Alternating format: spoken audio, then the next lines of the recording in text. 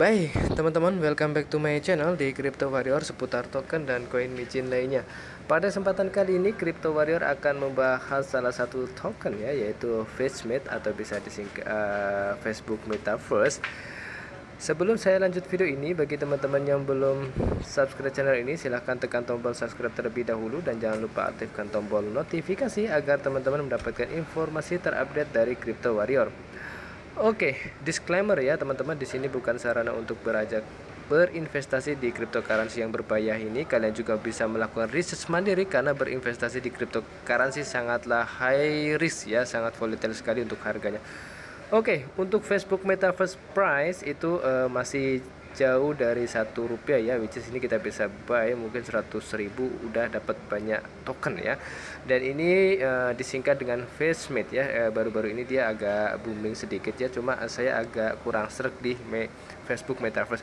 Jadi Facebook Metaverse ini uh, apakah dia real punyanya Mark Zuckerberg uh, CEO of uh, Facebook atau uh, orang lain ya. Jadi kita harus tahu kita telusuri ini siapa timnya di balik developernya itu sendiri. Oke. Okay. Dia masuk ke rank 2889 dan on watchlistnya token itu tersebut 27.000 dan untuk uh, smart contractnya dia under Binance Smart Chain ya which is ini masih sangat mudah kita dapatkan di Pancake Swap ya tanpa uh, memerlukan biaya yang tinggi yaitu uh, kayak Ethereum ataupun sebagai macamnya.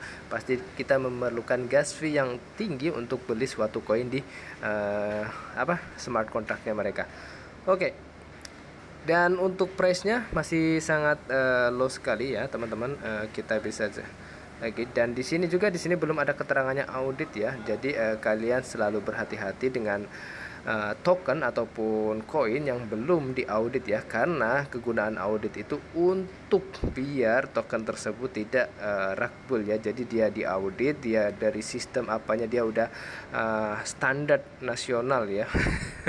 Standar auditnya misalnya standarnya audit Citric, Heiken terus ada uh, Desert dan sebagainya macamnya karena banyak sekali audit-audit yang harus kita pertimbangkan untuk membeli suatu koin ya misalkan Sirtik yang udah famous ya semua koin mostly dia pakai uh, Sirtik hmm.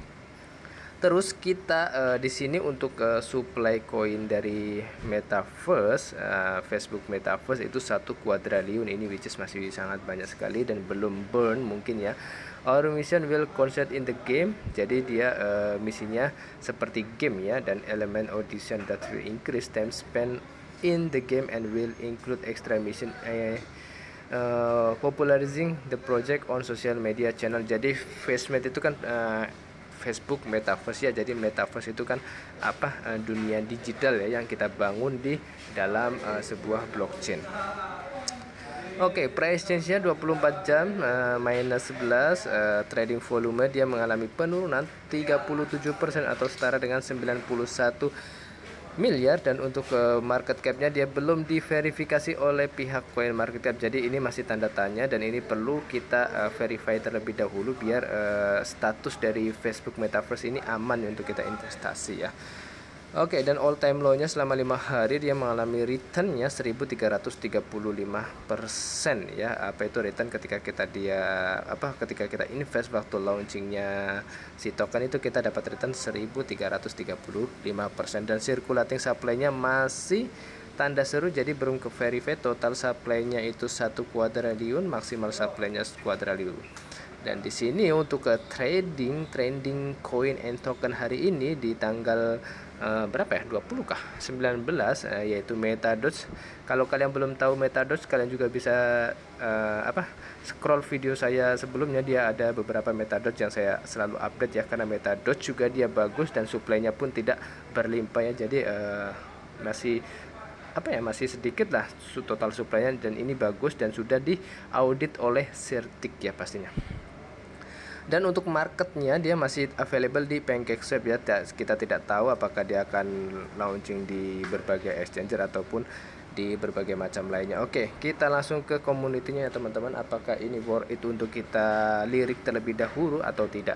Kita lanjut ke community. Dan di sini akun yang ingin Anda lihat tidak ditangguhkan. Jadi, ini membuktikan kita masih belum safe. Karena kenapa? Community belum di-add di Twitter ya. Kalian bisa lihat sendiri, kita klik satu kali lagi. Nah, akunnya ingin Anda lihat telah ditangguhkan ya. Jadi uh, seperti itu. Jadi terus berhati-hati Dior ya, do your own risk ya. Jadi di sini eh, take care, stay safe. Jadi Binance ya udah memberitahukan kita. Jadi do your own research ya. Jangan invest according to emotion, jangan ya dan jangan FOMO dan sebagainya macam lainnya. Oke, jadi satu belum aman. Oke, kita masuk ke uh, Twitter terus kita masuk ke chatnya itu biasanya Telegram ya. Kita lihat Telegram apakah ada membernya atau tidak tapi yang pasti itu sosial medianya dulu ya kayak uh, Twitter itu penting dia. Twitter itu menunjukkan uh, keaktifan suatu token dalam membangun. Oke, di sini ada 26.000 anggota which is ini uh, bagus ya. Oke, kita bergabung. Dan kita lihat di sini kayak kita kan masuk Indonesia ya, kita Indonesia Community. Mana ini? Indonesia Community. Lumayan bagus, bagus. Facebook Metaverse Indonesia. Jadi di sini baca website baca pin message makanya itu saya males. Grup palsu yang memang Android jangan mau tertipu. Iya bang. Dari kemarin juga waktu downtrend hitungannya masih sehat banget. Cuma emang kesusahan aja tembus resisten uh, jadi uh, di sini untuk masalah community-nya dia uh, banyak ya. Jadi untuk di Twitter dia mungkin belum bikin ataupun sebagai macamnya tapi kalau untuk di Telegram dia sudah ada ya bahkan ada uh, berbagai grup nationality ya kayak Facebook Metaverse Indonesia dan di sini anggotanya pun cukup banyak yaitu 16.343 dan untuk total Facebook Metaverse token itu sendiri 26.000 which is ini uh, setengahnya dari si uh, Facebook Metaverse Token Group itu sendiri ya. Indonesia emang kece-kece orangnya pemburu koin micin. Jadi eh, not financial advice kalian juga bisa lakukan riset lagi. Oke okay, langsung kita ke Facebook meta token. Kita review dari segi desain website dan sebagainya macam lainnya. Oke okay, ini adalah tampilan dari uh, Facebook Meta Token website itu sendiri ya. Kalian bisa lihat sendiri uh, betapa cantiknya di desain. Di situ ada gambar kayak kacamata dan di sini uh, masih belum tertera ada tulisannya buy now. Jadi ini hitungan micinnya masih belum kelihatan. Oke okay, Facebook Meta Token Face Meta Token. Jadi uh, Facebook Metaverse is a project that's uh, inspired by Mark Zuckerberg jadi ini real bukan punyanya Mark Zuckerberg ya. Jadi ini inspirasi. Jadi uh, siapa saja yang bikin token ini uh, misalkan saya bikin token ini saya mempunyai inspirasi dari Mark Zuckerberg ya. Jadi saya menerbitkan uh, token Fitch Meta Token. Oke. Okay. jadi real bukan uh, punya Mark Zuckerberg ya. Ini inspirasi. Jadi tentang, tentang Facebook has changed its name Meta in the shift away from social media and toward developing the metaverse, a digital world that could be next generation of internet and cryptocurrency. Nah, jadi Facebook telah mengubah namanya menjadi Meta. Ini membuktikan dia akan uh, ke depannya akan mengembangkan ya uh, metaverse-nya mereka.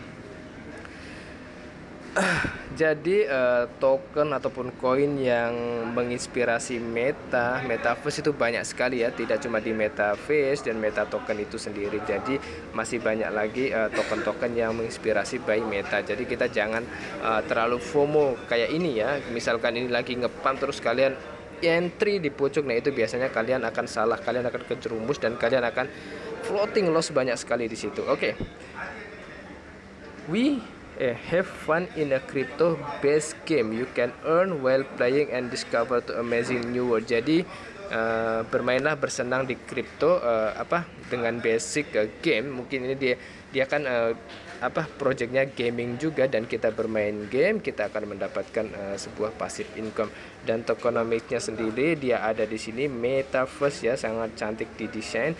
4% itu liquidity 5% marketing 3% itu untuk holder dan di sini 2021 dia masih dalam perhaps ya. Jadi masih dalam eh, rencana-rencana target-target mereka buin sosial media, kontrak development, audit. Jadi auditnya itu belum ya, belum ya, belum ada. website update game ini masih di sini ada gamenya dan 26 eh, hari mungkin gamenya akan rilis dan kita akan lihat ya. Dan untuk saat ini saya belum berani entry dan ini real pure ini pendapat saya. Dan di sini saya lihat ada Bino dan ini masih ke kategori coin sheet ya coin micin. Coba kalau nggak ada Bino ini mungkin lebih uh, sedikit berfundamental lah. Dan di sini kita klik auditnya dan di uh, masih tidak bisa situs ini tidak dapat dijangkau jadi masih uh, belum ada auditnya itu sendiri ya. Nah dan tokonomis roadmap kontak dan di sini masih belum ada uh, tim-timnya mereka belum ada di keterangan timnya mereka siapa aja developernya siapa aja CEO-nya siapa aja dan di sini masih belum jelas ya. Jadi masih belum jelas dan kalian harus lakukan research research lagi lebih dalam mengenai meta uh, apa ini fetch meta ya oke okay? Sekian dari review saya mengenai Fetch Meta Token. Kalian bisa lakukan research uh, lebih dalam mengenai Fetch Meta Token, apa yang uh, terbaru ya. Uh, jika ada pertanyaan, kalian bisa tulis komentar di bawah ini dan jangan lupa like dan share ke teman-teman kalian yang mencari uh, referensi buat fetch meta token itu sendiri. Terima kasih, salam dari Crypto Warrior. Jangan lupa selalu gunakan uang dingin saat berinvestasi.